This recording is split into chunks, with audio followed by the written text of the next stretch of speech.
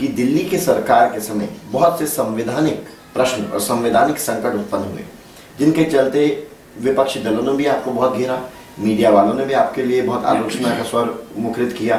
तो उस सवाल को आप किस तरह से संबोधित करेंगे और आम आदमी पार्टी क्या भारतीय संविधान में वास्तविक तौर पर विश्वास रखती है? क्या भारतीय संविधान को कुछ विशेष दर्जा देती है? क्या उसके अंतर्गत अपना कार्य करने वाली है? देखिए, दिल्ली में जो कुछ भी घटनाएँ हुई उसको लेकर सही है कि विपक्ष ने, मीडिया ने आलोचना की। आम आदमी पार्टी जिस व्यवस्था परिवर्तन की बात करती है, उसमें कोई मूलभूत परिवर्तन निश्चित रूप से अपेक्षित है।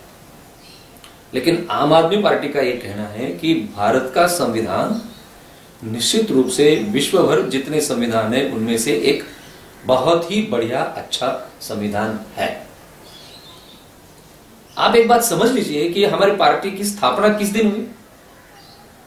पार्टी की स्थापना ही संविधान दिन जो था हमारा 26 नवंबर। 26 नवंबर 2012 को पार्टी की स्थापना हुई कि ऐसे ही हुआ? पार्टी के नेतृत्व ने बहुत ही सोच विचार करके कॉन्स्टिट्यूशन डे पर संविधान दिन के अवसर पर पार्टी की स्थापना की है। इसमें ही यह साफ़ ज़ाहिर होता है कि पार्टी के मन में संविधान में जो मूल्य व्यवस्था है, उसके परि, सर्वोपरि आदर है। निश्चित लेकिन एक बात आप ये भी समझ लीजिए कि हमारे संविधान में ही संविधान संशोधन की भी व्यवस्था है। तो भारत के संविधान की जो एक मूलभूत फ्रेम है, मूलभूत विचारधारा है, उसको तो कोई भी धक्का नहीं लगा सकता, उसको तो कोई भी बदल नहीं सकता। भारतीय जनता पार्टी के नेतृत्व वाली जो एनडीए सरकार थी दिल्ली में, उस समय उन्होंने संविधान की मूलभूत विचारधारा को ही बदलने के लिए एक एक कमेटी का गठन किया था। और उस समय मेरे जैसा कार्यकर्ता उसके विरोध में मैदान में और मैं आपको यह भी बता दूँ कि आज तक मेरे ज़िंदगी में भारतीय संविधान में निहित मूल्य व्यवस्था के संदर्भ में लगभग 300 से ज़्यादा व्याख्यान दिए और मुझे तो भारतीय संविधान में जो मूल्य व्यवस्था है, वो मेरे जीवन में सबसे परि आदरणीय ऐसी चीज़ लगती है।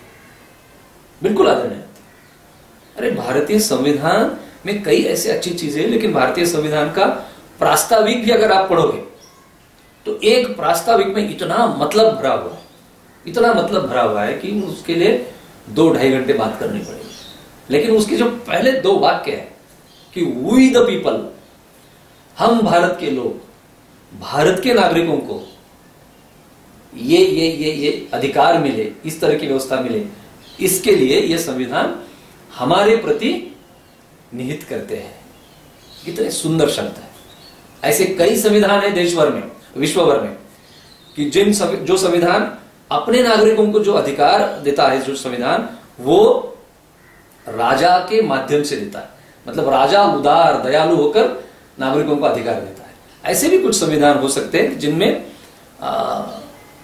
भगवान के माध्यम से अधिकार मिलते लेकिन भारत का संविधान यह कहता है कि हम भारत के नागरिक, हमारे एक दूसरे के अधिकारों को मान्यता देते हैं। मतलब भारत के संविधान में जो मानवीय अधिकार है, ये अधिकार सव्यसाची आपने और मैंने एक दूसरे को दिए हैं।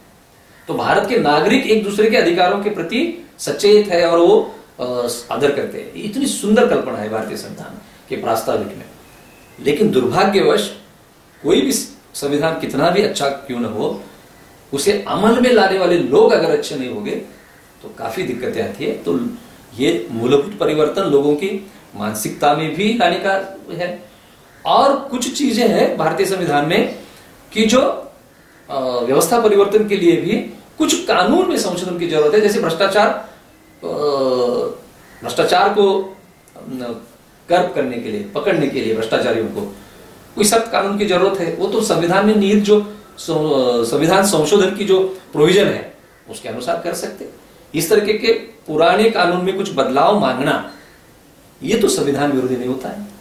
दूसरी एक चीज़ मैं आपको इसमें ज़रूर बताऊँगा कि संविधान का आदर कब होगा? और संविधान का अनादर भी कब होगा? एक इलेक्टेड गवर्नमेंट के पास उस राज्य में जो पुलिस व्यवस्था है, उसका नियंत्रण इलेक्टेड रिप्रेजेंटेटिव के पास होना चाहिए।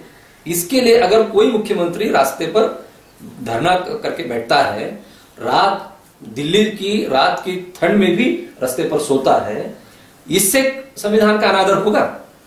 या संसद के अंदर सवाल पूछने के लिए पैसा लेने से संसद का अनादर? आज क्या हुआ रहा है हो रहा है संसद? मुझे तो लगता है कि बाहर से आंदोलन करके भारतीय संविधान की मूल्य व्यवस्था को लागू करने का आग्रह करने वाले लोग, या भारतीय संविधान में जो आर्टिकल 39 है कि हर नागरिक को सम्मान से जीने का अधिकार तो हर नागरिक को सम्मान से जीने का अधिकार मिले, इसके लिए अगर बाहर कोई रस्ते पर बैठता है, उससे संविधान का आदर बढ़ता है, बल्कि संविधान के अंदर एक दूसरे के आँख में मिर्च फेंकना, मार्शल को थप्पड़ लगाना, कपड़े निकालना, सांसद एक दूसरे के साथ जैसे मछली बाज़ार में झगड़े होते, उस तरीके से झगड़े करना, ये क्या संसद की और संविधान की गरिमा बढ़ाने वाली बात होती है? इससे तो मुझे ऐसा लगता है कि संसद के और संविधान की बिल्कुल अवमानना कर रहे हैं लोग। हमारा जो जो व्यवस्था है, जो प्रशासन है आज, भारत के नागरिकों के मूलभूत अधिकारों को जो ताक पे रख रही है हर दिन, जो हमारी बहनें बलात्कार की शिकार होती है, उनके जीवन में तो पहले से ही अराजक है। कहाँ संविधान? संविधान है उनके जीवन में। जो दलितों के प्रति अत्याचार होते हैं, कहाँ संविधान के अधिकार है उनके जीवन में? किसान, दो लाख से ज़्यादा किसानों ने आत्महत्या की क्या संविधान की मूल्य व्यवस्था को ताक पर रखने दिया है प्रशासन व्यवस्था ने? तो अगर इसके खिलाफ आवाज़ उठाने, उठाना, किसी को ऐसा लगता है कि ये लोग संविधान को नहीं मानते तो ये गलत है। बल्कि संविधान में जो मूल्य व्यवस्था है, उसे कायम करने का आग्रह ये लोग धरते हैं। ऐसा मैं मानता हूँ।